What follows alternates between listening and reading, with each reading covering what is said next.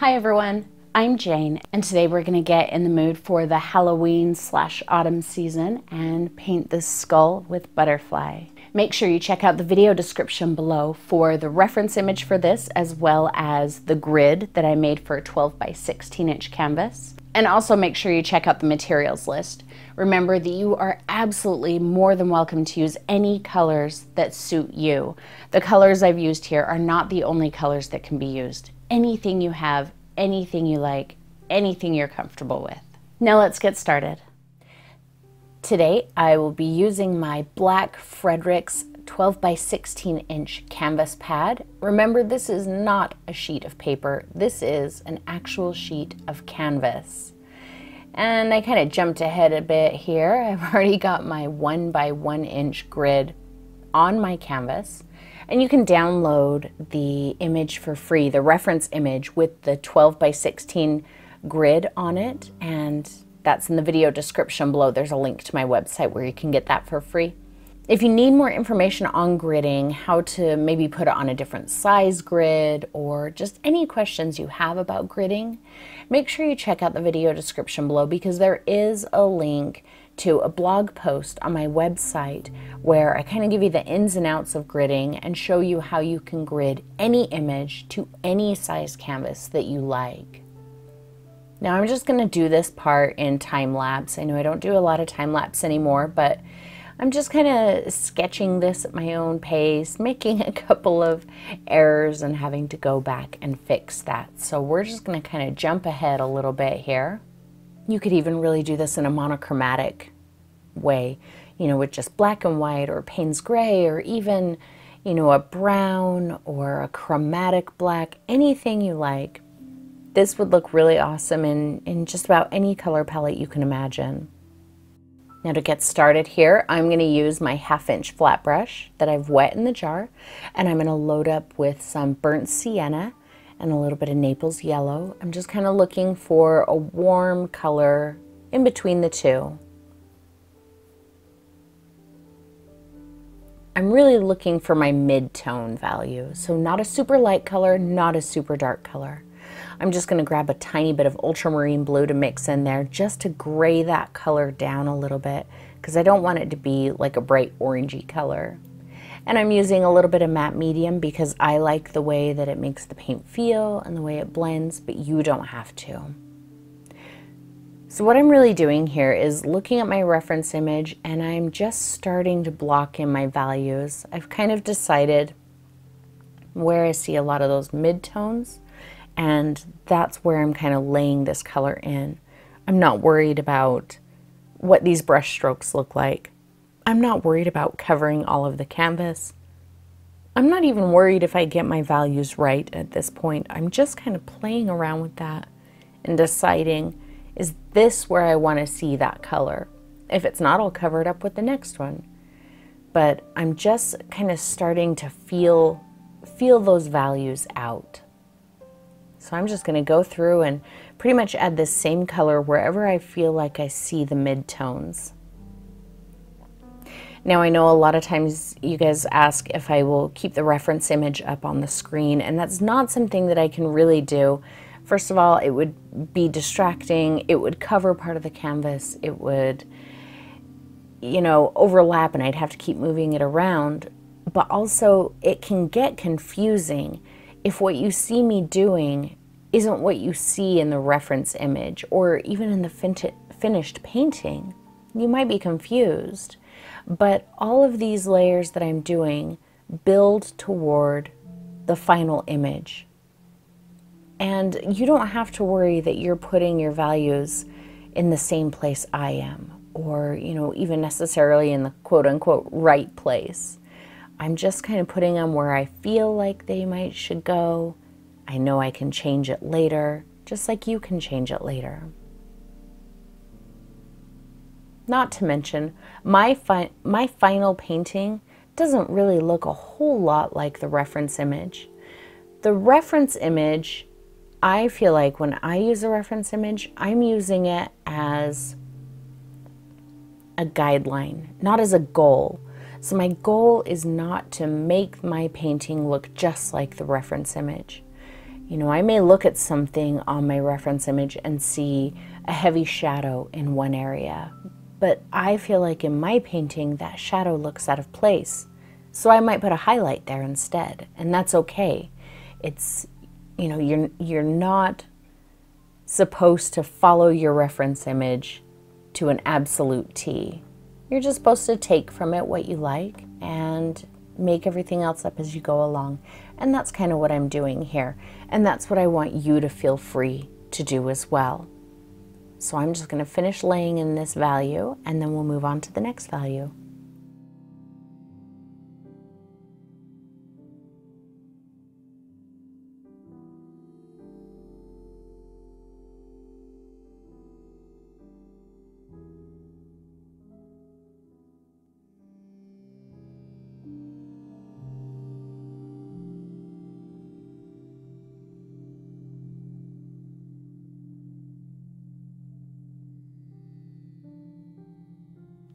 Now I'm going to mix my burnt sienna and my ultramarine blue, and there's still a little bit of yellow in that mixture.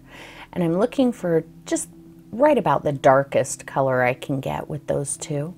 And I'm going to start laying them in where I see my darkest values in the image. It doesn't matter, again, if I'm covering all of the black. It doesn't matter if they're in the right place. It doesn't matter if they're darker or lighter than where I put them. I'm just, when I paint like this and I kind of do this blocking, I'm really just making myself a reminder. I'm reminding myself, I think I want it dark right here. I'm reminding myself, I think I might want it light over here. But none of that is set in stone. I can change any of it at any moment. Also, if at any time here it looks like I'm mixing white in with my paint or that I'm putting white on my canvas, it's just matte medium. I'm not using white at all just yet. Remember your soft brush strokes. You can put full pressure on your brush to kind of plop down the paint where you want it, but then go up onto the tip of the brush to kind of burst that little plop of paint out and spread it a little bit. Don't do these broad back and forth sweeps with your brush like you're blending. You're just going to keep laying paint down and blending paint together and you're going to end up with a muddy mess. Use a light touch, you know, just kind of plop it down like I did right there and then go up onto the tip of the brush to just lightly break that up and blend it in if you need. Remember, full pressure, laying the brush flat and swiping that is intended to lay paint down. If your goal at the moment is not to lay paint down but to blend it, you should be using the tip of the brush, nice soft pressure. So again, I'm just going to lay this where I see my darkest values. And that doesn't include the dark, like the black areas inside of the eyes or the nose, just on the outside of the skull. I'm so super excited for Halloween. And, you know, I, I promise to try not to bombard you with straight up Halloween paintings from here until October 31st, but figured early September was the perfect time to go ahead and get started on that. And I figured, why not start it off with a bang? So here we are with this image.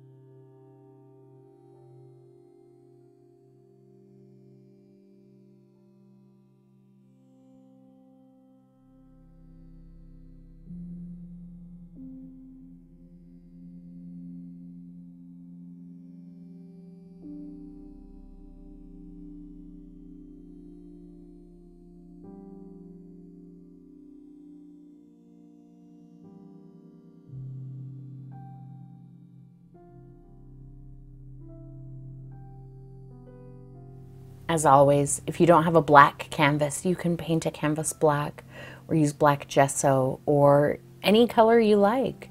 I actually did a quick version of this in acrylic with my Patreon group a week or so ago and I did it on a, a white canvas and I gave it an ultramarine blue underpainting and that looked really interesting.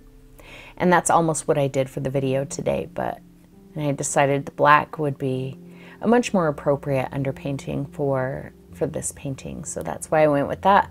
But yeah, you can definitely take a white canvas and paint it black or ultramarine or gold or whatever you want to do.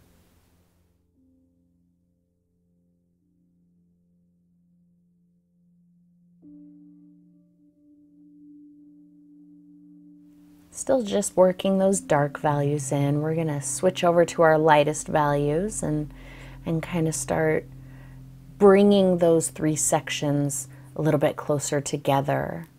So here we go. I've cleaned off my brush. I'm going to grab a tiny swipe of that burnt sienna ultramarine mixture and get my Naples yellow.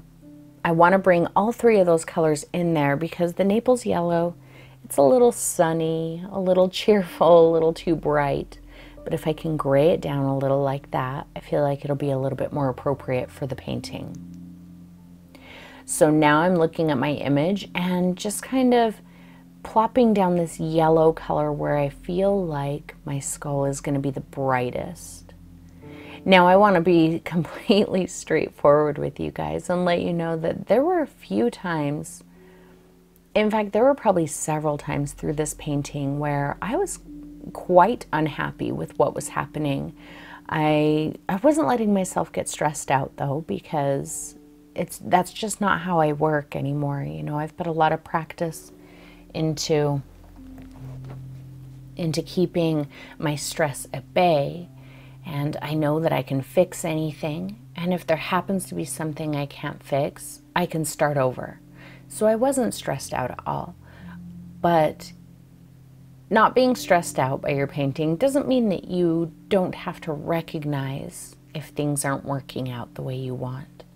So I definitely went through several phases where I was like, mm, this does not, this isn't what I want to be happening. I don't really like what's happening here. But what I did was think to myself something I say to you guys all the time. Well, you know, if I don't like it, then it can't possibly get any worse. I mean, I already don't like it, right? Can't get any worse.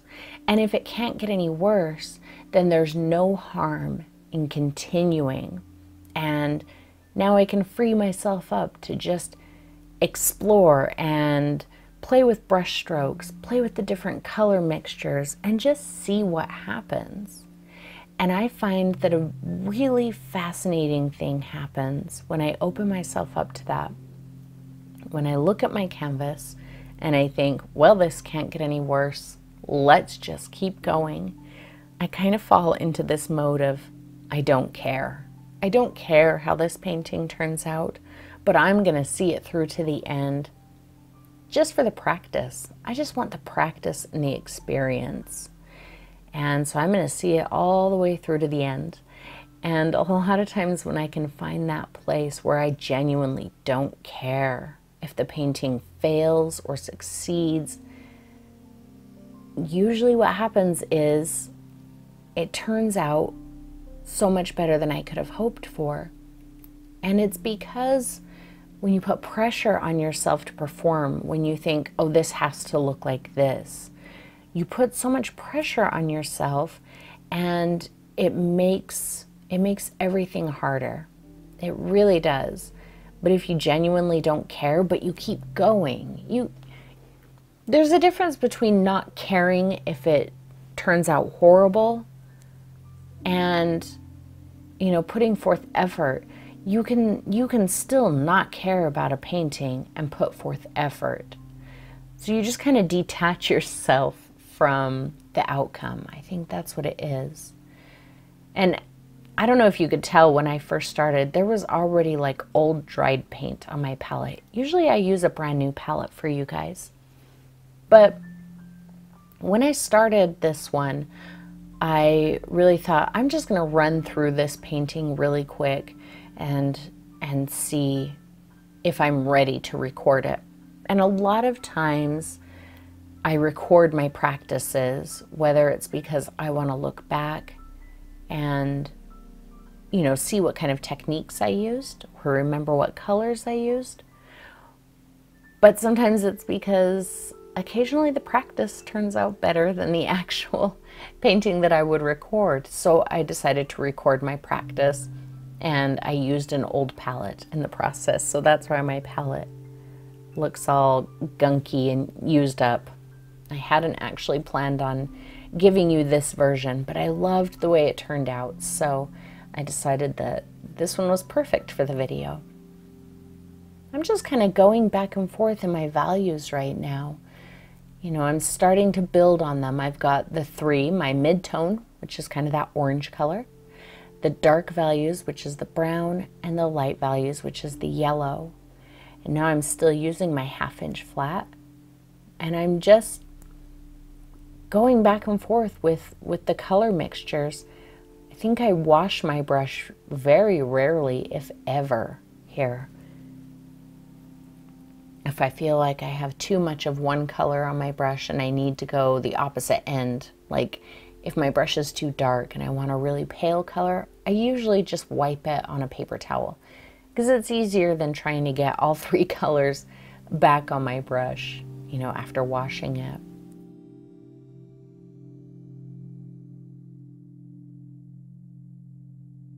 Notice how light my brush pressure is though. I'm not, it's really only about the top quarter of my brush that's touching the canvas. It's not the full length of the brush touching.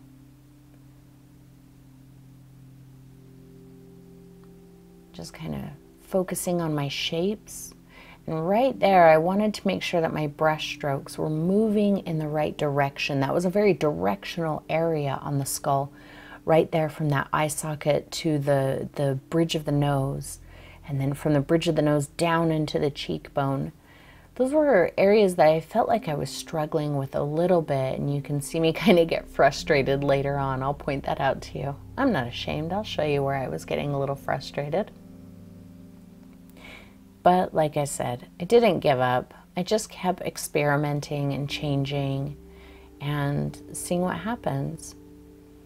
Here, I did wash my brush. I'm getting a, a, as dark of a mixture as I can between the blue and the burnt sienna. I have a little extra water on my brush and I'm just gonna flick some little splatters, just kind of playing with the texture at this point. The skull in the reference image has so much texture on it, so many different textures that, you know, I kind of felt, I felt pretty confident to just play with textures and not be afraid of any of them. You could even come back and splatter some of the lighter colors on it if you like. I don't think I did that. I, I didn't do that, but I did think about it. So, you know, if you wanted to experiment with that and splatter some lighter colors, go for it. And I I'm pretty sure once I do these splatters, I don't really wait for them to dry. So some of them are still wet when I go over with the next layer and they get blended in. Some of them dried, some of them didn't get touched. That's my number six round and a little bit of black paint.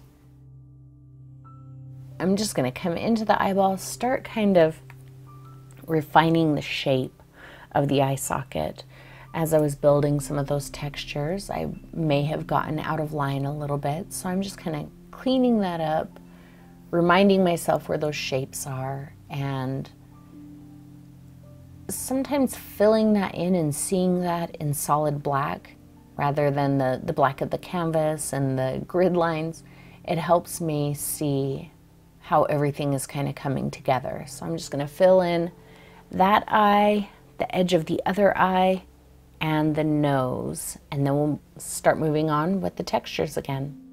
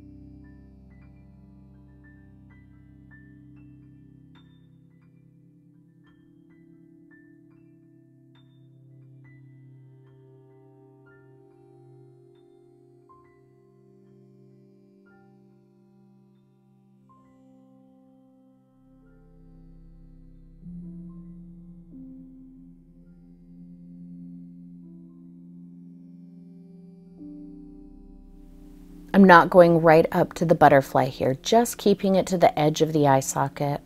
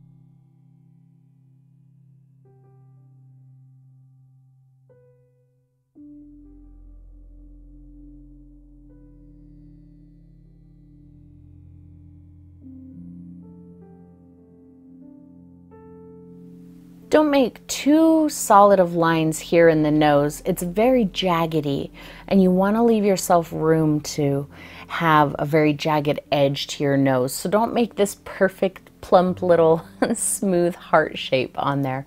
Let it be a little raggedy.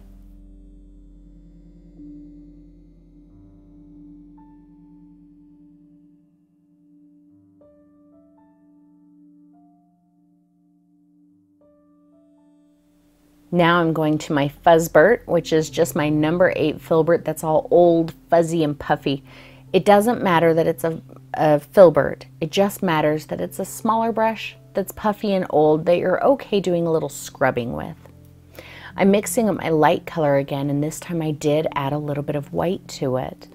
We're gonna really start playing with the shadows and highlights, and I'm starting with my highlights.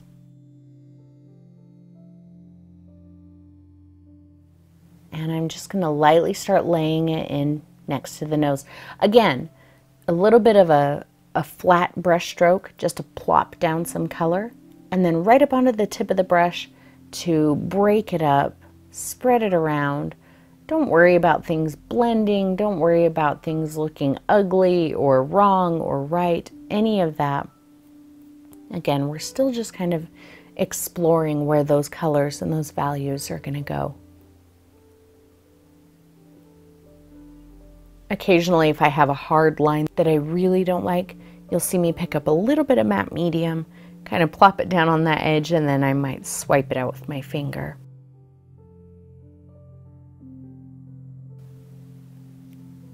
See, just playing with my colors and values, a little bit of orange, slightly darker. Don't get too hung up on trying to perfectly replicate any of the details that you see in your in your reference image. You'll see as we go along, I'm very general with the teeth. The teeth are an area that I think you could easily get hung up on trying to make the teeth look exactly like they are in the image. There's a lot going on there, you know, between the shadows and the lights and the shapes and the sizes and the textures. You really could make yourself crazy trying to make those teeth exactly the way you see in the reference image. So I went the other direction and said, I actually don't really care about the teeth. you know, the, the thing that you're going to want to look at the very most in this picture, I think, is the butterfly. And then kind of the overall texture and, and values of the skull. I don't think anybody's going to be really scrutinizing the teeth. So I was very general with the teeth. When I looked at them, I said, oh, there's a highlight that roughly moves in this direction. So I kind of just plopped down a little, a little plunk of a highlight and maybe a little plunk of a shadow. And, you know, I think in the end, it was effective to say, these are the teeth, but in no way would you look at the teeth that I did and look at my reference image and say, oh yeah, that's this tooth and that's this highlight because I didn't care about any of that.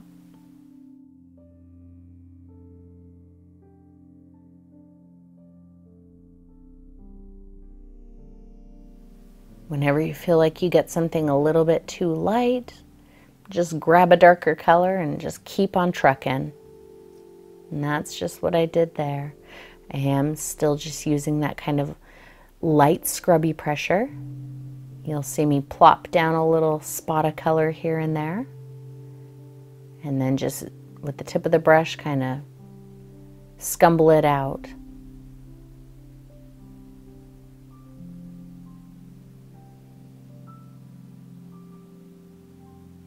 See a little plop there? Just plop down some of that color.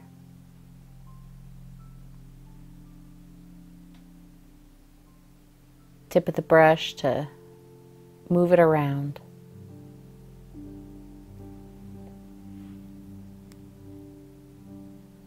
Don't be afraid to scribble.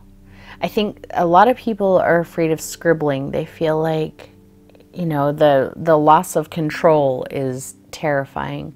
But to me, scribbling is what really gives me the look that I want. And I feel like, you know, when I tighten up and try to be too blendy and precise, that's when I struggle the most. But when I can just kind of cut free and just scribble, then I feel the most satisfied and and I feel like my my painting works with me a little bit better. That that probably doesn't make a lot of sense to you if you haven't really cut loose and, and just let yourself scribble. But yeah, I think if you if you allow yourself to scribble and you don't scrutinize anything too tightly, you'll be much happier. Just picked up a little white with whatever color I had on my brush and scattering it loosely through there.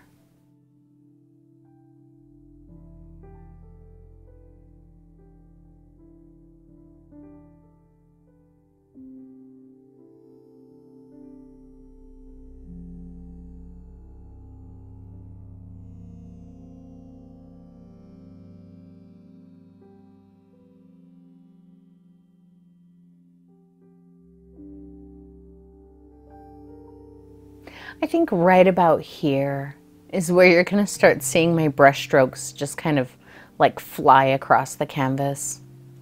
It might look like I'm starting to kind of give up and get a little frustrated. And I think this is about where I was starting to get kind of frustrated. It just looked so horrible to me. And I thought, I don't know. I think my colors are, I, I should have picked different colors and you know all of these things and i was just getting super frustrated and unhappy with how it was looking. So you can tell by how loose and just haphazard my brush strokes are here i, I didn't really care at this point because i figured i'm just going to end up starting over anyway and that's perfectly fine. But i decided i'll see it through just see what else I can learn from this experience before I decide to give up on this one and start again. See there? I'm just kind of slapping it around. I'm like, oh, this looks so bad.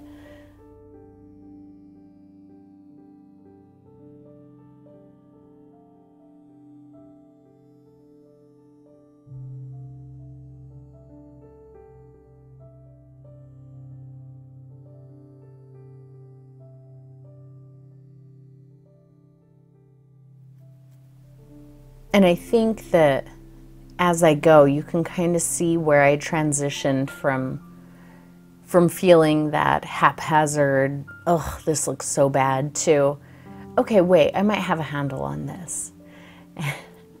I think I'm actually kind of starting to fall into that now.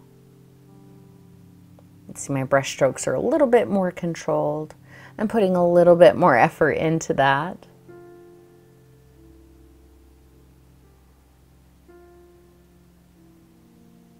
But again, all I'm doing is looking at my reference image to kind of see where I see my values. As far as the colors, I'm making up the colors that I want to see in certain areas. I'm not I'm not trying to mimic my reference image exactly. I'm just saying, okay, around that spot of the eye, it's mostly highlighted. It's pretty bright down there by the side of the nose. So I'm generally doing those things knowing I can make any corrections I need later.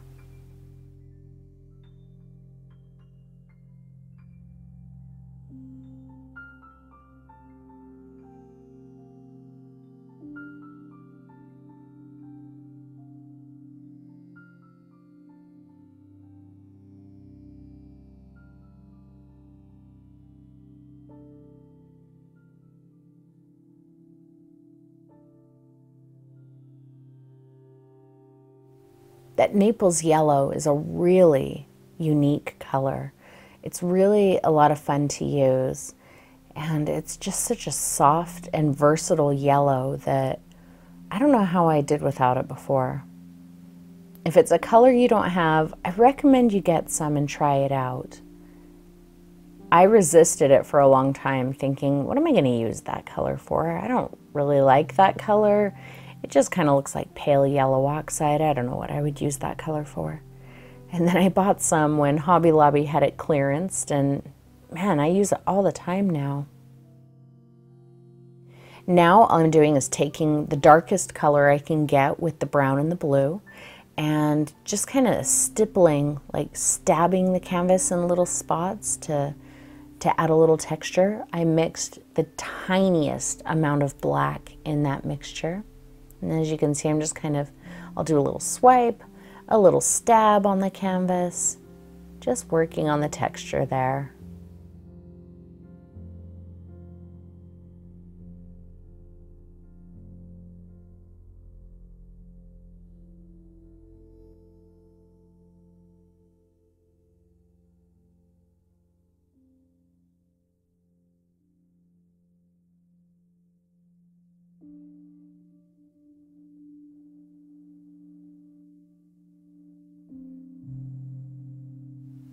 I think I just wiped my brush on a paper towel there just to get a lot of that paint off so I could change the color a bit.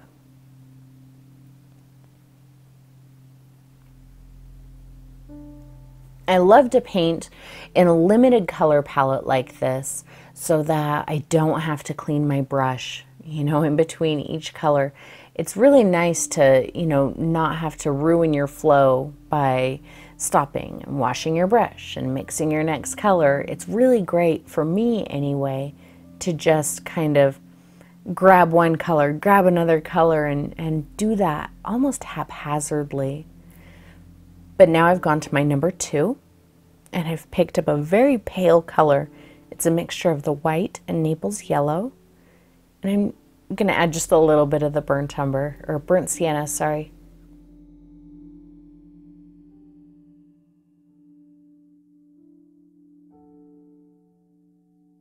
And I'm just adding little points of light on the edge of that opening. I thought that was one of the things that I really liked about the skull a lot were the little bright spots around the edge there. I felt like that was super interesting. So I want to make sure that I get a good a good highlight there. Making sure to include some pure white. But notice I'm not fully outlining that entire shape. If you fully outline it, it's going to look really cartoony, kind of phony. So I'm just putting little bits of it in places. Some places I'm leaving perfectly dark.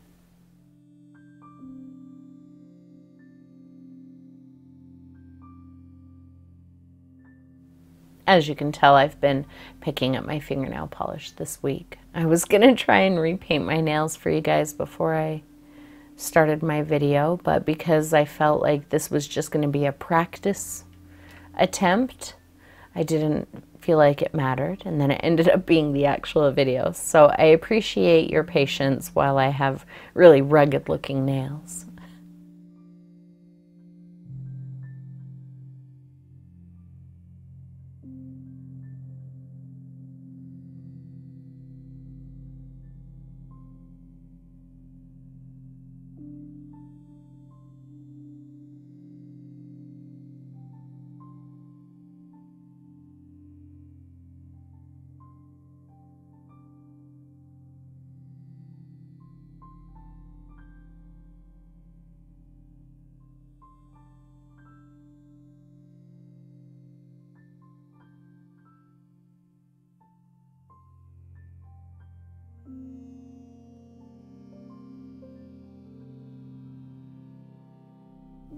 This little number two round gets a workout today.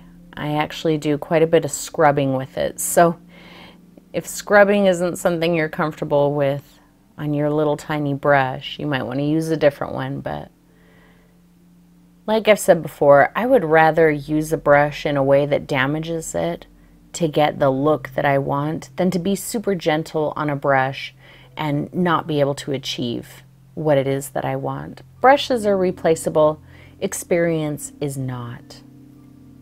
Just a little bits of that bright color around the edge of the eye here.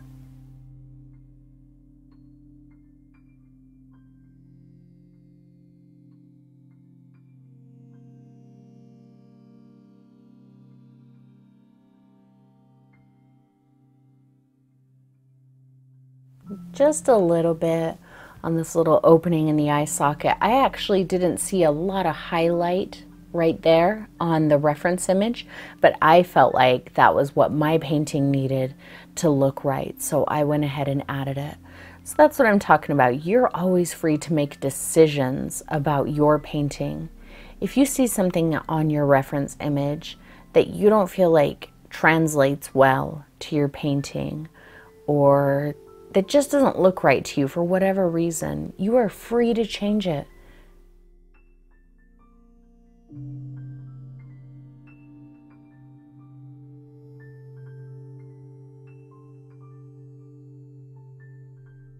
Just kind of stippling some of that white color with some matte medium through here. Again, just in an effort to build some texture. I know that white is kind of stark and a little bit shocking looking there, but I know that I'm not done, and so it doesn't really matter to me.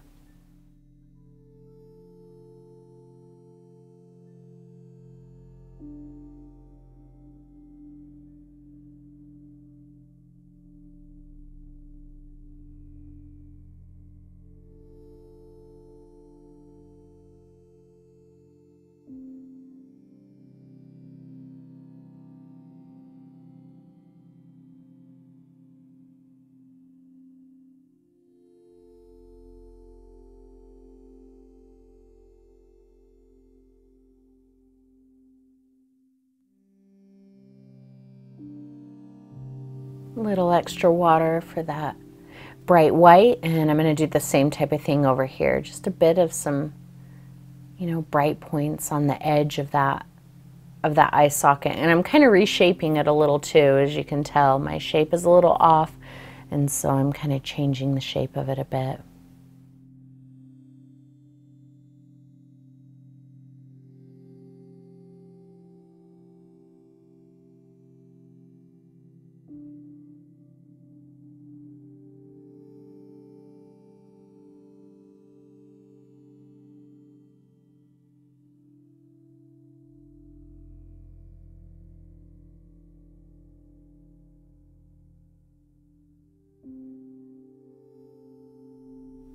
See, doing a little scumbling there with that number two round. I'm probably going to have another little fuzzbert, but it won't be a bird because it won't be a filbert, but I think we can officially call any fuzzed out scrubby brush a fuzzbert from here on out. So this little number two round is fixing to be a fuzzbert.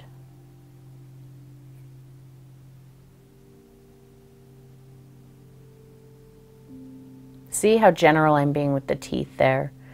Just kind of a couple of up and down brush strokes, a side to side brush stroke here and there, and that's really all I feel like it needed.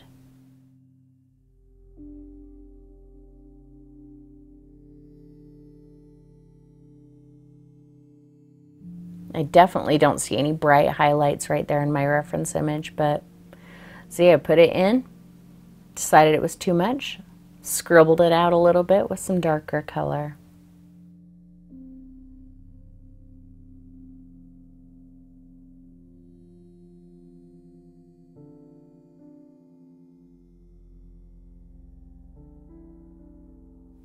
This is an image I've seen going around for a long time. I remember looking at this image on Pixabay years ago and you know, thinking it would be a really fun painting to do. And certainly I've seen other versions of it here and there. But I figured it was finally time to, to do this one for you guys. So I kind of edited the image down a little bit so that I could get my own, you know, unique composition on the image. So it wasn't just another painting of the skull with the butterfly in its eye. And that's really how you kind of make an image your own. You know, you can end up taking a reference image that gets used over and over again, but it's it's what you do with it that makes it yours. You know, the the way that I've cropped this image. I altered the color just a little bit just to give me an idea of how I wanted to select my colors for the painting. The techniques that I use, the colors that I use, all of those things are what make it my painting. And that's really what I want you guys to always feel free to do, you know, to to decide how you want to see it. Not not just feel like you have to recreate the reference image the way that you see it. Because if you and everyone else tries to recreate the reference image exactly as I see it, then you and everyone else are going to come out with the same painting. And that's no fun you know? But if 50 if 50 people sat down with the same reference image and you know kind of carte blanche to do whatever they wanted any materials any techniques you know any interpretation of the painting all 50 people would come away with a painting completely unique from everybody else. And that's what's really exciting to me. That's what art is about. Art is not about you know just doing your best to make something exactly like something else.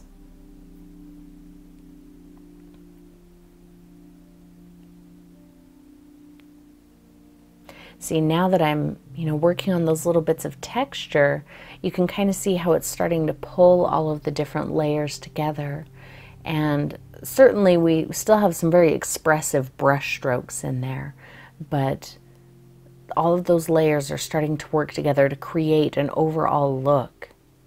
And all I'm doing here with my number two is I've got some of my darker color. I'm mixing the tiniest, tiniest amount of black in with my blue and brown.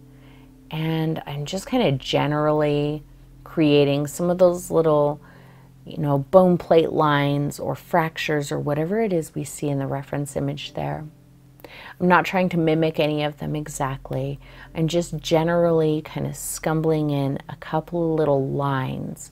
And I feel like they did a good enough job of, of suggesting those little cracks and lines that we see in the reference image.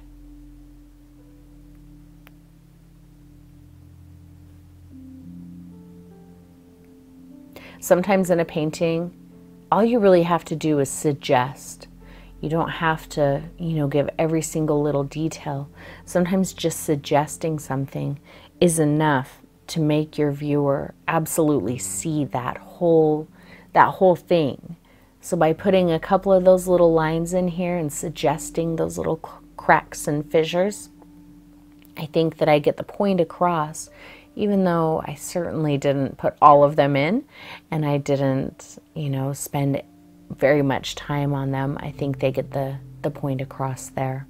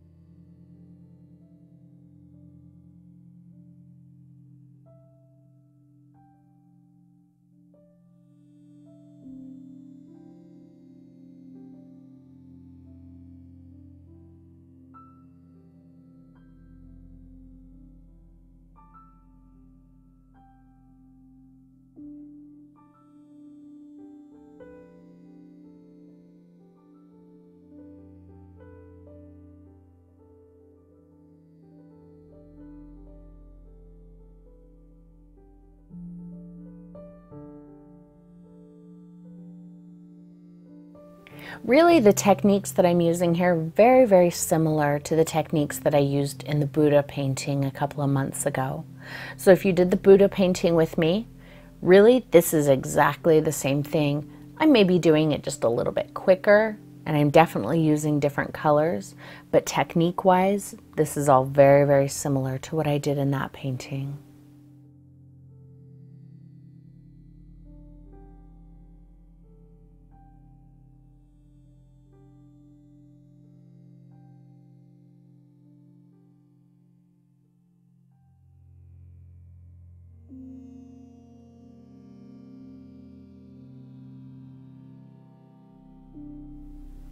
Nice and dark right along the edge of that eye because I feel like that creates a lot of drama. I've got some good light in that eye. And if I can go nice and dark around the edge of it, that will create that drama and realism that I really want to achieve in, you know, at least the values. We've got expressive, kind of impressionistic brush strokes, but I feel like with the values that I have, the light and the dark, that's where we can create that level of realism.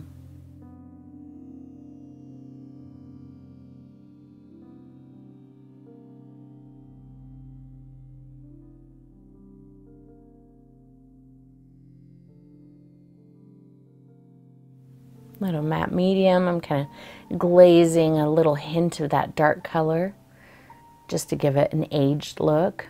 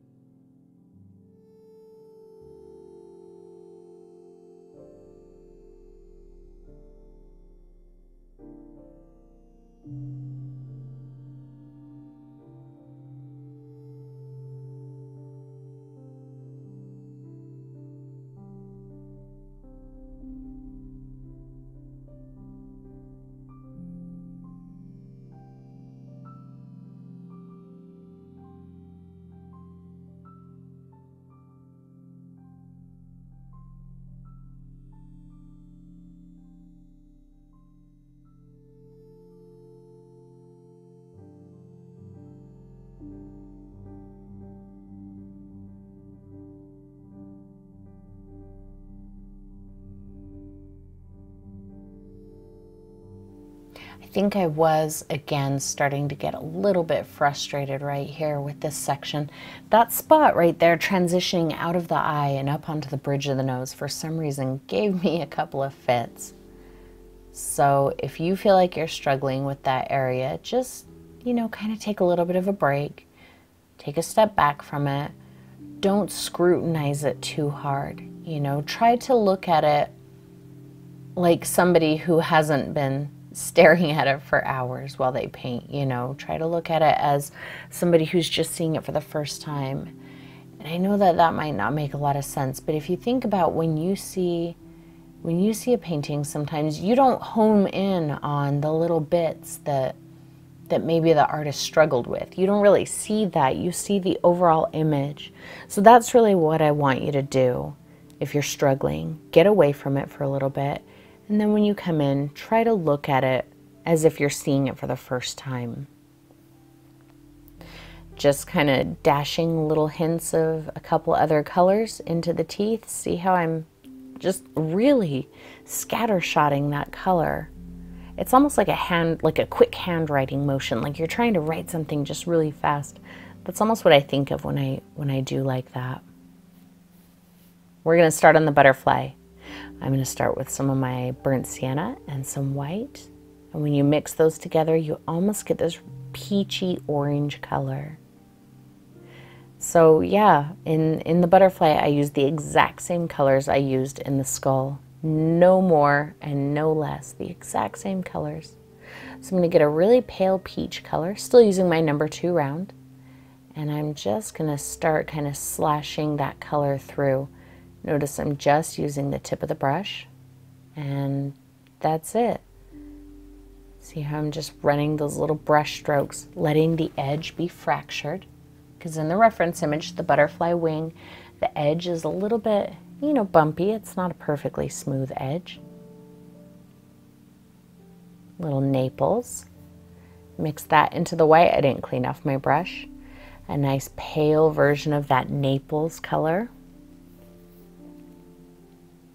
And I'm going to do the exact same thing.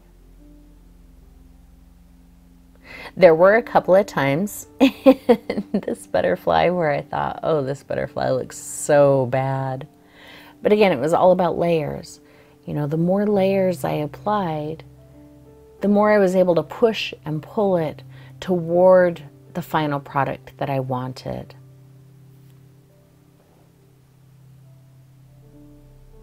Notice I'm not blending anything. I'm just laying down a brush stroke and leaving it.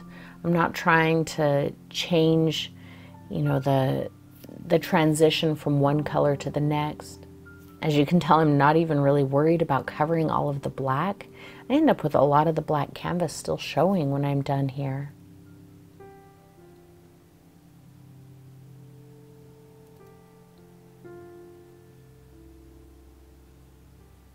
I did wash off my brush there, and now I'm going to move into some white and ultramarine. A little bit of that blue. However, I don't want that blue to be so shocking, so I am going to grab the tiniest hint of Naples and mix it in there. They don't make a vibrant green. That Naples is just going to kind of mute down the ultramarine just a little bit.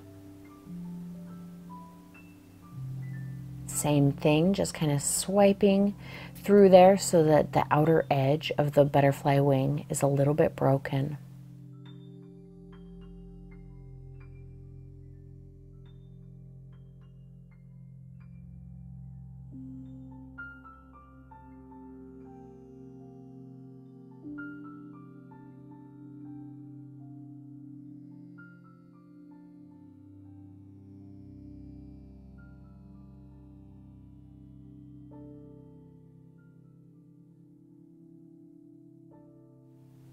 I love these colors together like this with the, the kind of peachy pink and the yellow and the blue. It almost starts to give the butterfly wing a little bit of an iridescent look, a little bit opalescent.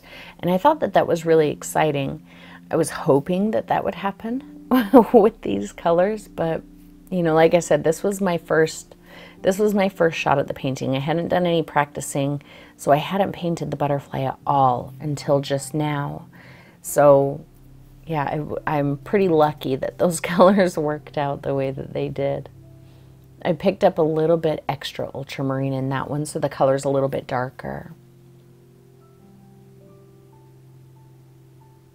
A little bit more of that yellow. These colors all work so well together in here.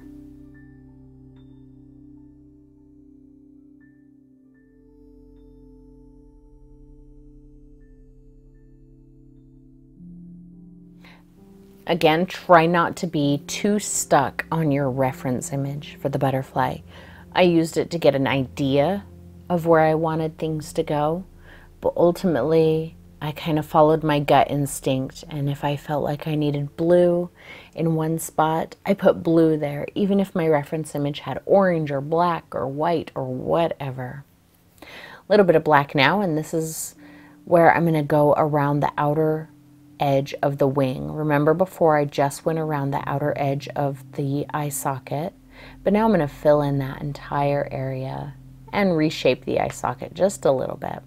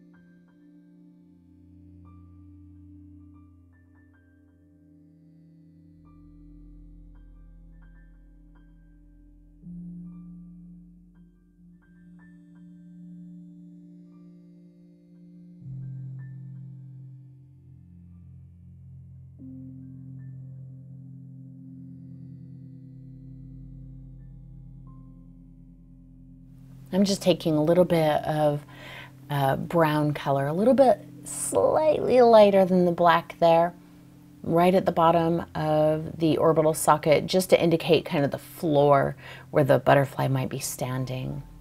It's very, very subtle effect.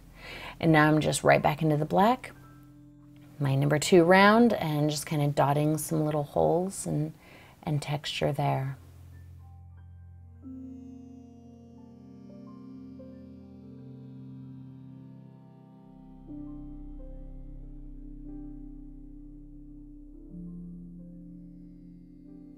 I decided to extend a little crack up the, the bridge of the nose there.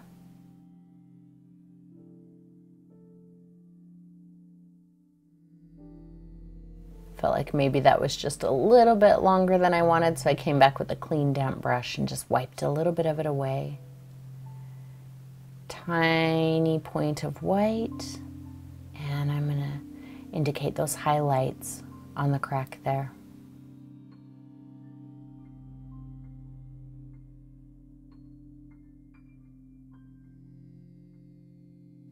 Back to our butterfly.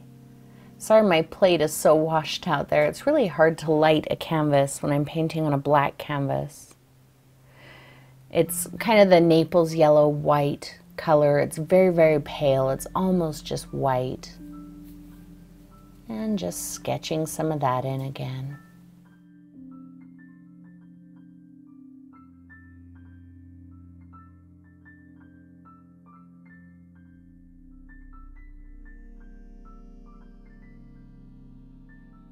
Little bits of matte medium to thin it down.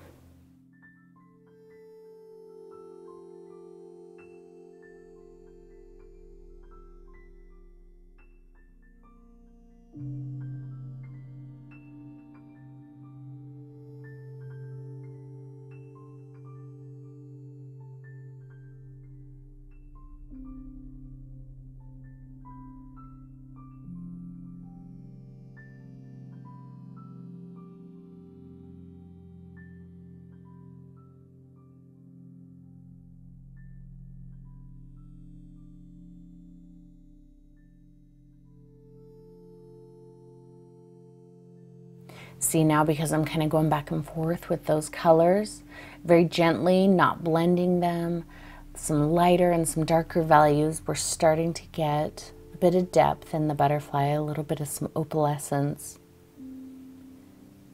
a little bit of that burnt sienna in there again. I just mixed it in with the yellow.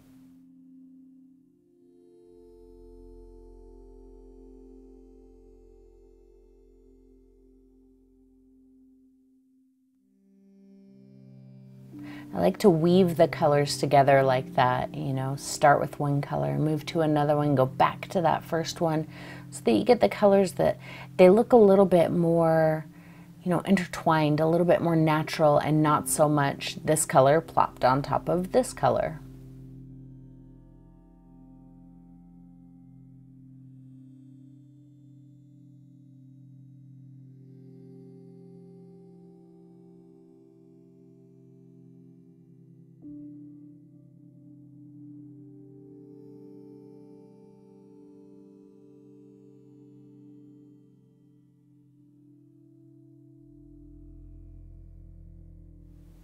Very pale, very, very pale blue. A little matte medium to thin it down a little.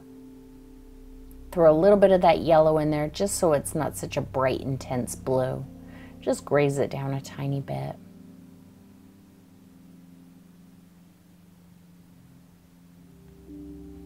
I'm just using the tip of the brush and just almost sketching with it. A couple little highlights on the, the bug body with that same super pale blue color that I was just using.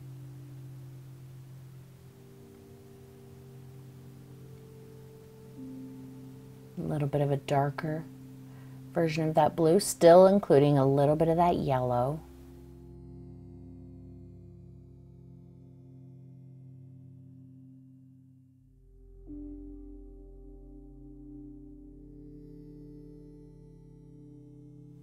Some little legs. If you need to get a different brush to get the narrow little legs, that's fine. My number two has a pretty sharp point on it, so I felt pretty confident to get those little lines with this brush.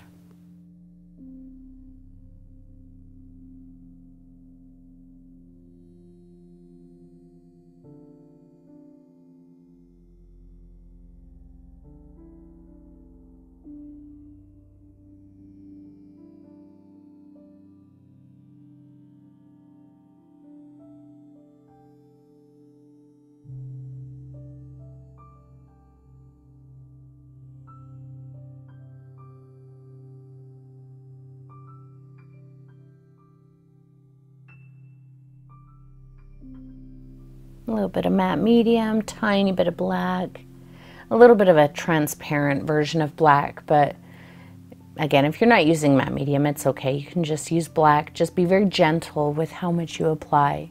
I'm just using the very, very tip of the brush. And I'm gently gonna start creating some little veins and other detaily bits in her butterfly wing. I'm generally following following the the patterns on the wing from the image, but still kind of doing my own thing.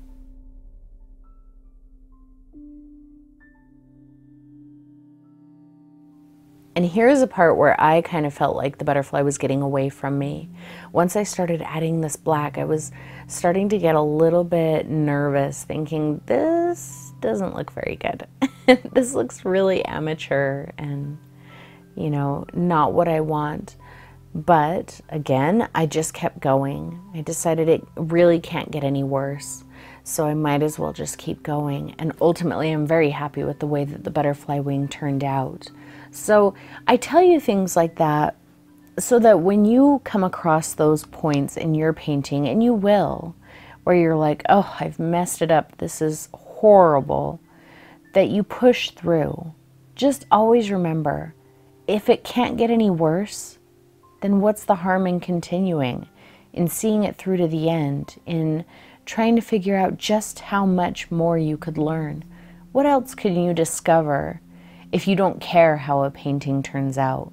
Because if you don't care how a painting turns out, you free yourself up to do absolutely anything and learn absolutely everything.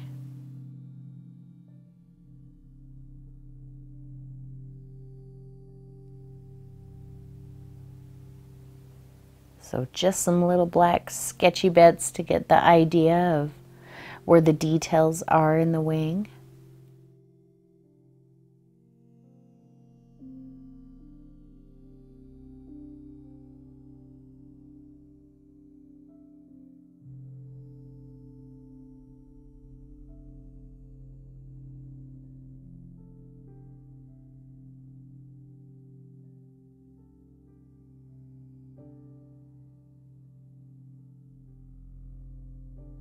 Let's go back into some of our light colors. I'm going to mix up a color that's as close to white as possible, but still has a tiny hint of one color or another in there. And I think that is just a mixture of the burnt sienna and the, the Naples yellow. But I mixed it up quite a bit lighter, just using the very, very tip of my brush, getting more white, and just kind of scribbling little hints of that color in there.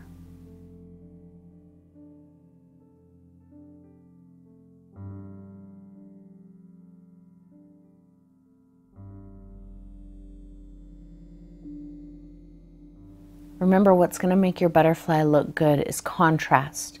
You have to have some very, very bright and you have to have some quite dark. And it's that contrast that's going to make your butterfly look good.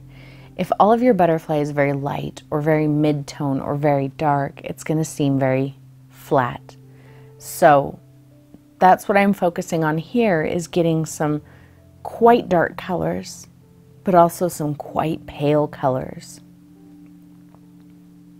So right now, I'm just doing my pale colors. Just scribbling them on.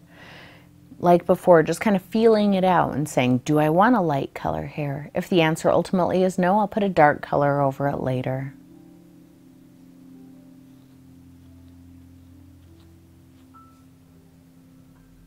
much brighter, almost pure white there.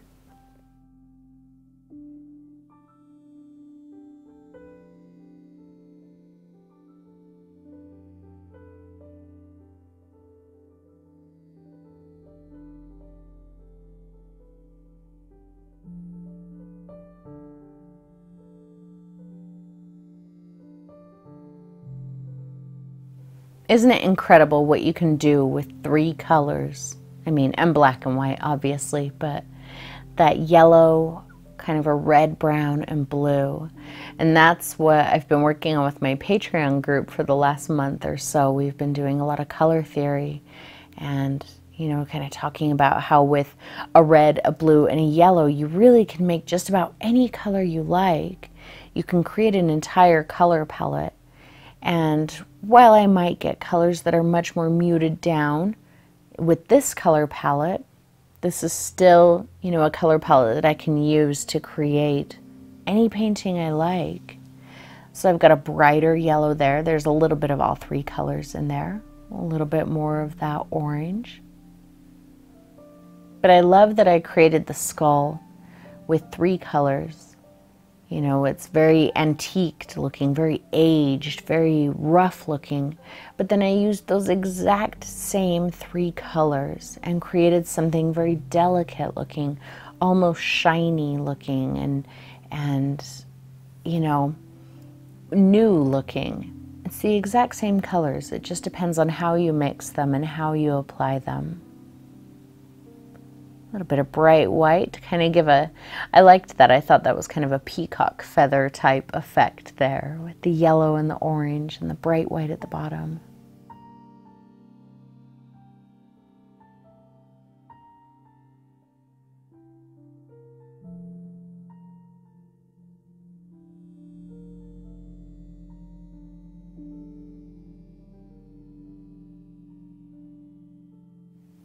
Little more yellow and we'll fill in this big one.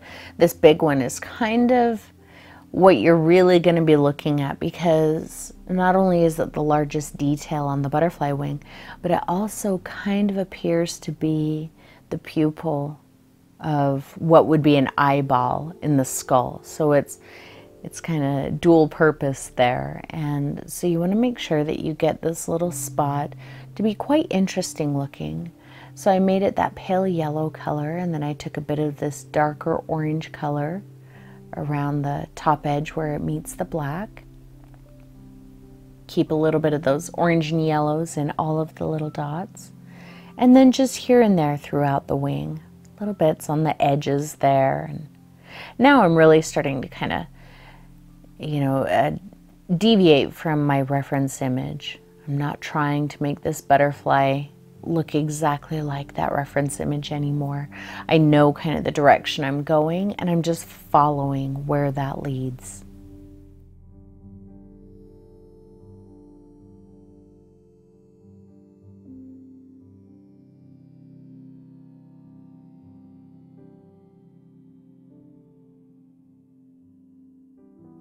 I'm going to go much darker in my blue here than I have. I'm going to keep a tiny hint of that Naples yellow in there, again, just to dampen the color a bit so it's not overly bright.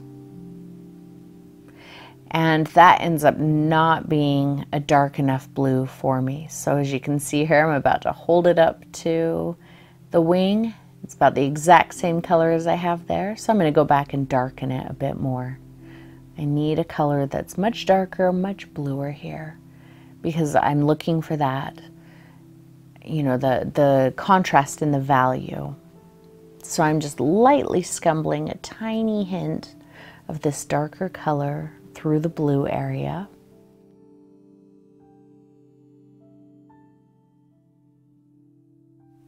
And I'm going to include a little bit of it in the butterfly body as well.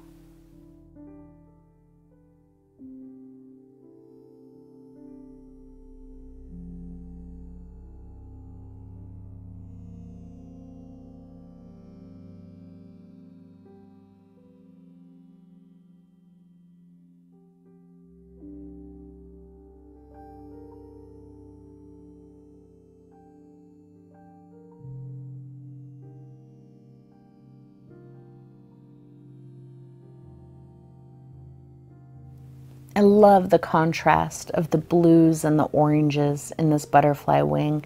I think it really helps bring a lot of life to it.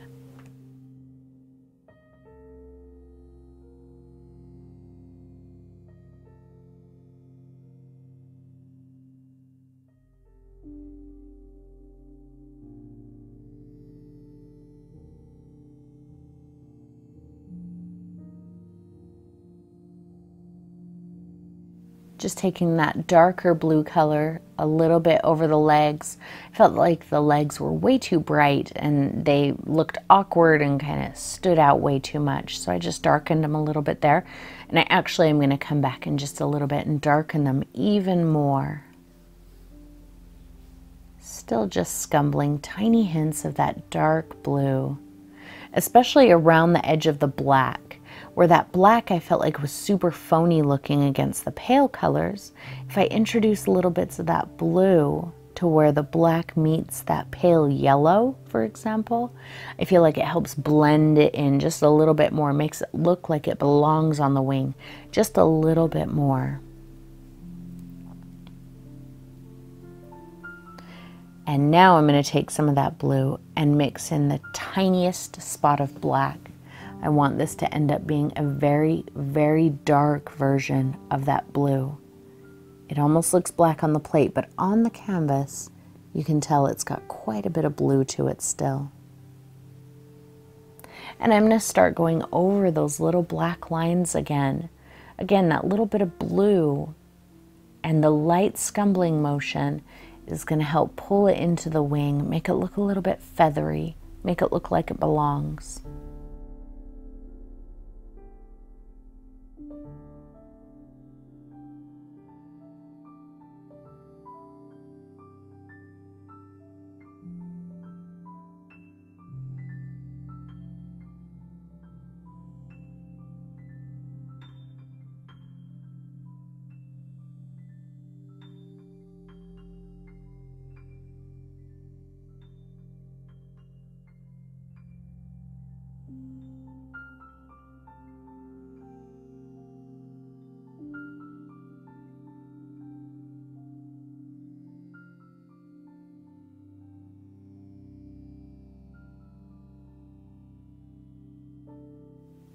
See how that slightly bluer black makes that color feel a little bit more native.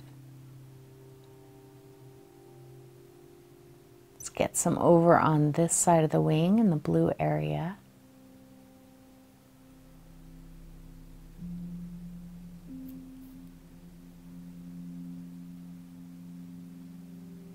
The wing is another area where I feel like you really could drive yourself crazy. If you look at the reference image, there's all kinds of little zigzaggy bits of the, the black all throughout there.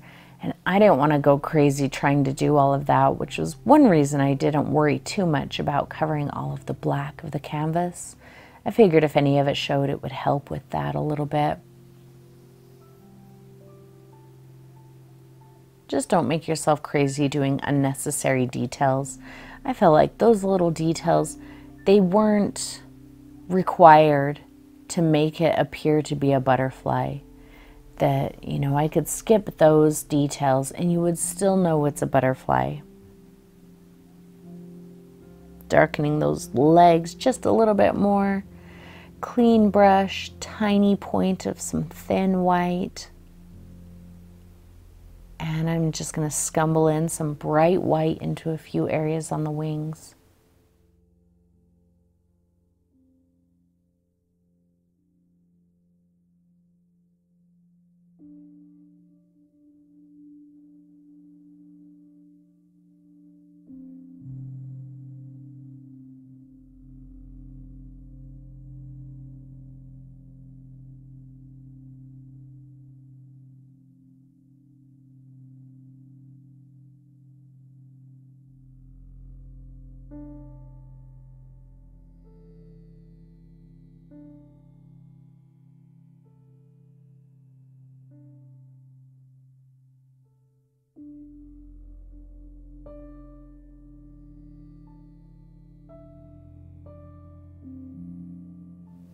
Let yourself go crazy with that white.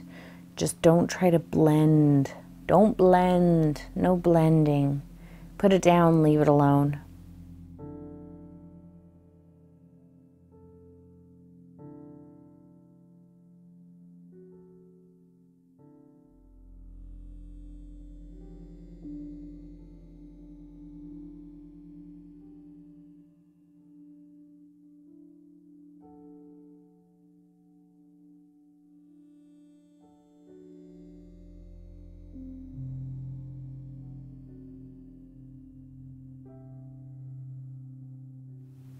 Love those bright little pops on the tip of the wing there.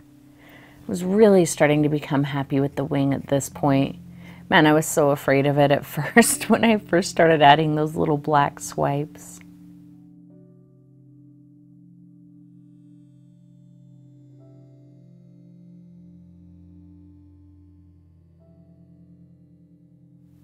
Little tiny bits of white in there where we've got that super dark blue.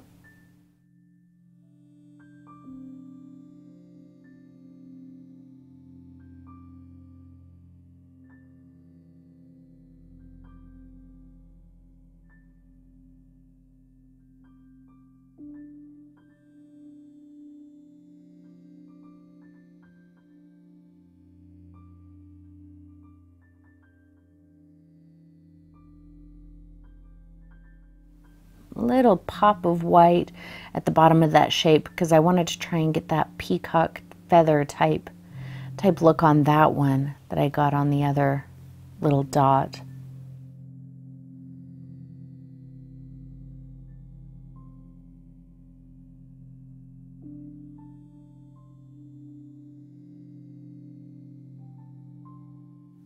Don't forget a couple little points of light on the body and maybe on the legs here and there.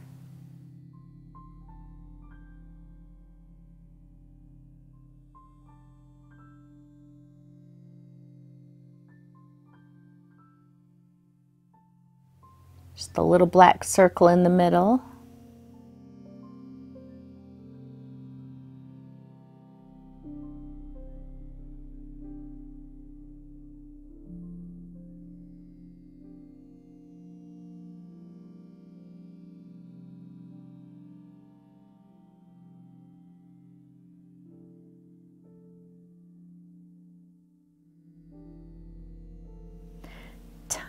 Tiny little slash of white for the bottom of the circle just to keep it interesting. Also help, I think it helps kind of give that look of an eye. Makes it really interesting, draws you right to it.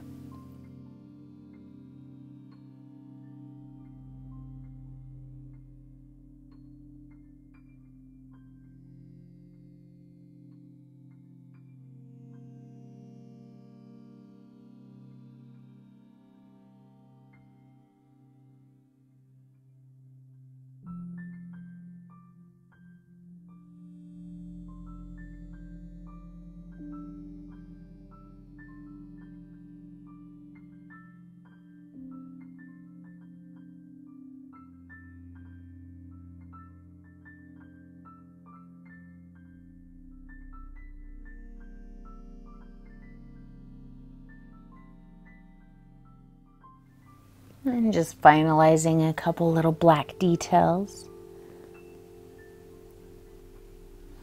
I decided to start adding a little bit of some veining through the wing. And then I felt like it looked plopped on top, just like before when I very first started doing the black. So right here where I start doing these little veins, I liked overall, I liked them, but I thought that they were so strong, even though they were like a hairline, that they kind of took away from the look. So, but notice I kept going. I just did them. And then I clean off my brush. I come back and I get a little white with a little matte medium. Uh, so it's a very thin, transparent white. And I'm just going to lightly daub it over top of the black in a few places. My goal is not to obliterate that black. See that? You can still see it, but it just kind of presses it down, dampens it a little bit so it's not quite so dark. And then I felt like it looked much more like what I wanted. So sometimes you don't have to remove something you don't like. It, it might just be enough to, you know, mute the color just a little bit.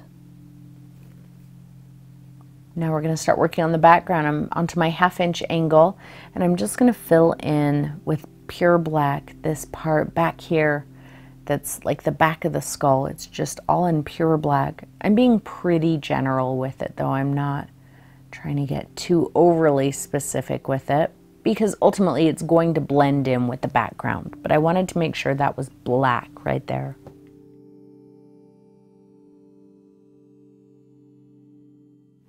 Back to my half inch flat, a little bit of white, a little bit of Payne's gray, and I'm gonna start just kind of laying that down right here on this side. I decided I wanted a bit of a brighter color on the background right here next to the darkest side of the skull because that creates a bit of drama that I think is really exciting. If the background were just all black, it would be a little bit more boring. So I'm just laying that down and then scattering it out.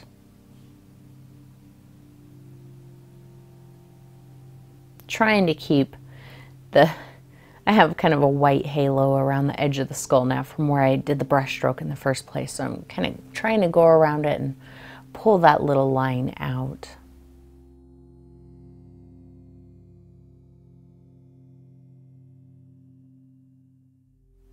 Just some Payne's Gray there.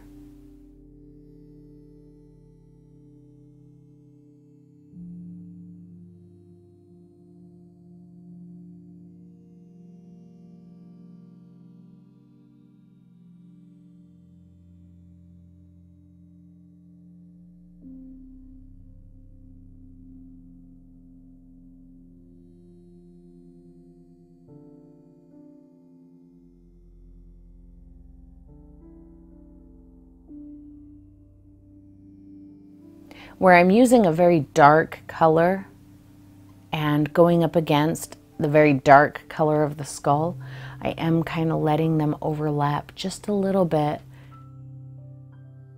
I don't need a very hard line where I have dark on dark. Now I'm actually just picking up black. That's just black. I didn't clean off my brush, but I did just pick up black.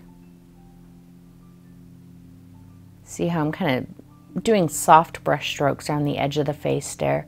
Face there. If it blends in a little bit, it blends in a little bit. That's fine.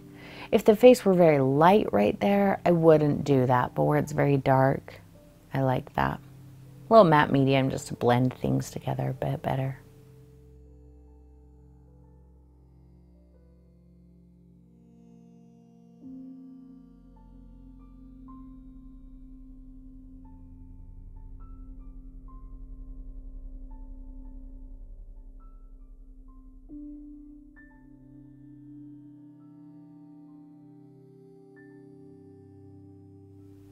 See, so there I'm keeping a pretty tight line because I have a dark color up against a, a lighter color. So I want to make sure that I maintain that drama, the, you know, the contrast in the values is really exciting. Tiny poke white, just brighten up this area. Ultimately, I come back once I do the other side and I lighten up this side quite a bit more. It just takes a second to do more black, little matte medium. I'm going to just fill in this top corner and down the side with just black. I haven't cleaned off my brush. And I can reshape the skull a little. I think it kind of got away from me right here, the shape. So I'm taking a little extra effort to get in there and, and kind of reshape things a little bit. So I get asked a lot, can I paint the background before, you know, because I paint the background last quite often. And a lot of people are kind of freaked out by that. And they want to know can they paint the background before they paint their subject? You can, but then if you need to make alterations to your subject, you're going to have to repaint the background anyway. And, you know, the subject is much more important than the background ultimately. So you might as well paint the background last so that you can make little corrections to your subject if you need to And you don't have to worry about painting over your background a million times. I really just think it's easier to paint the background last.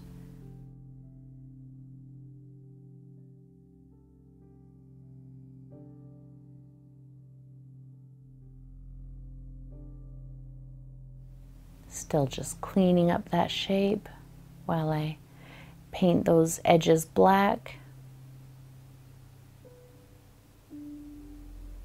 And again here where the skull is very, very dark, I am letting this background color very gently blend into it.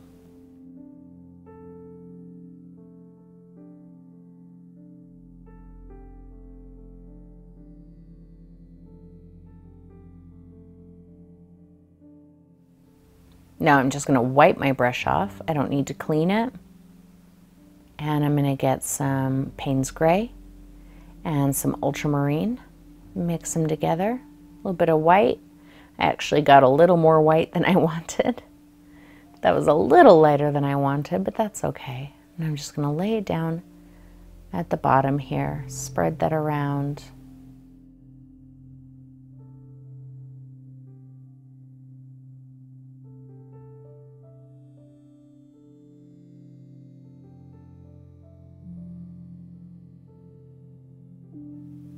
And I'm going to come back with some black to blend it into both of those black areas, the black area under the skull and the black area next to the skull. A little Payne's gray on its own, a little more blue. Just start darkening that area because like I said, it was a little lighter than I actually wanted.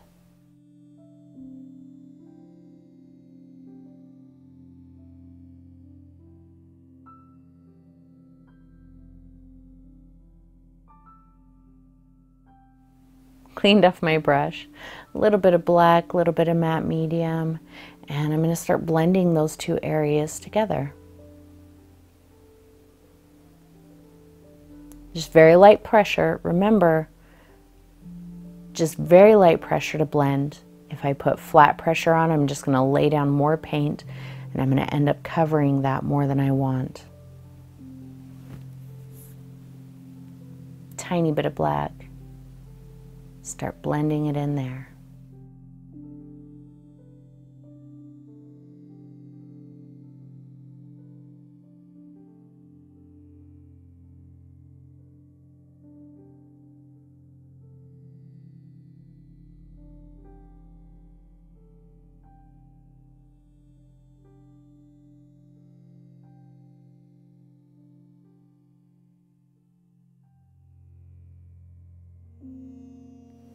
Take a bit of that color right through there, the Payne's gray and blue and white. Not a lot. You don't want it to be too terribly bright under the teeth because that part would be in a little bit of shadow. But I do want to indicate that there's a bit of light on the table there still.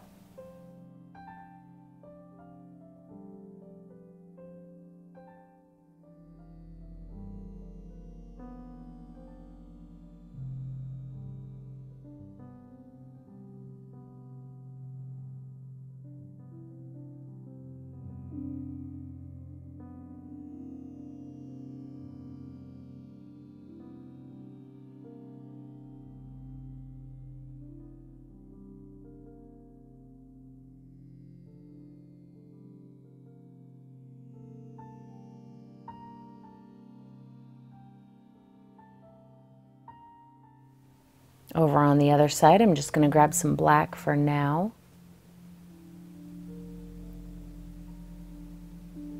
But then I felt like that looked just a little too dark, so I do come back with just a tiny hint of that Payne's Ultramarine and white, just to give an indication of some light on that table. I am blending this with the cheek there, except for right there where it meets the brighter spot, but up around the side, I am letting that dark blend.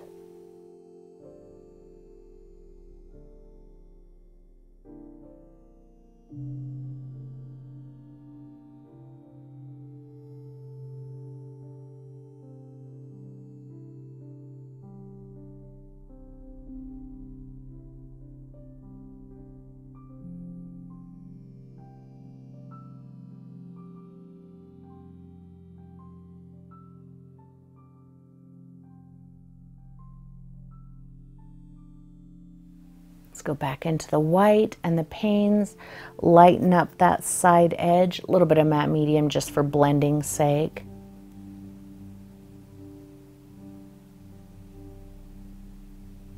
I just really wanted that dramatic, that dramatic light over here.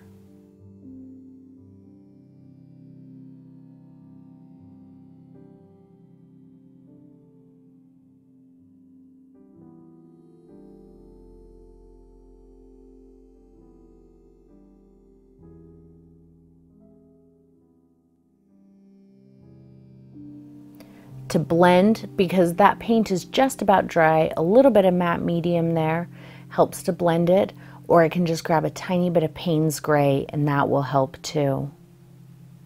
See, just a tiny poke of Payne's Gray blends it right in, even though the paint is dry.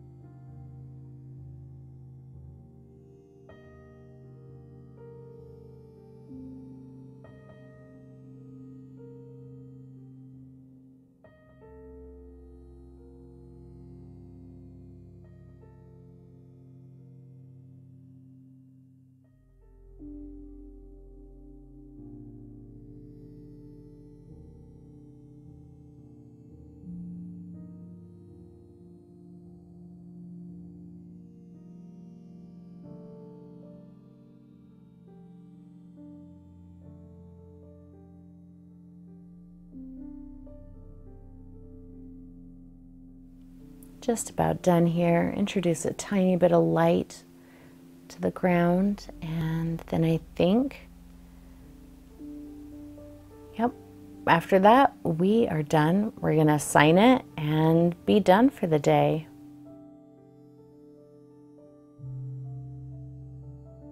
And there is your dramatic skull and butterfly. I hope you enjoyed painting this one with me.